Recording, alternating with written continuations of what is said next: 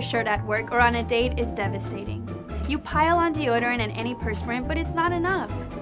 If obvious sweat marks crush your confidence, you might consider armpit pads, garment guards, or dress shields.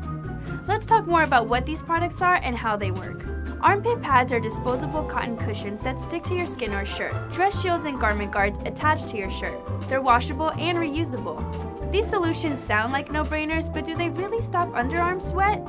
Sweat pads and shields work well if you sweat lightly, but if you pit it out on the daily, they just don't hold up.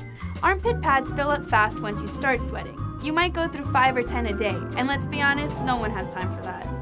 Changing out the pads isn't the only concern. They show under tight-fitting shirts, but if your shirt is too loose, the pads can't catch your sweat. The adhesive from sweat pads ruins your nice shirts too. It leaves behind a residue that's tough to remove. Instead of trying your luck with pads, guards, and shields, wear a sweat-proof undershirt. You can't go wrong with the Thompson Tee. The sweat-proof technology keeps you dry all day. No more fumbling with sweat pads or stressing about stains. Scroll down to shop all styles and colors today.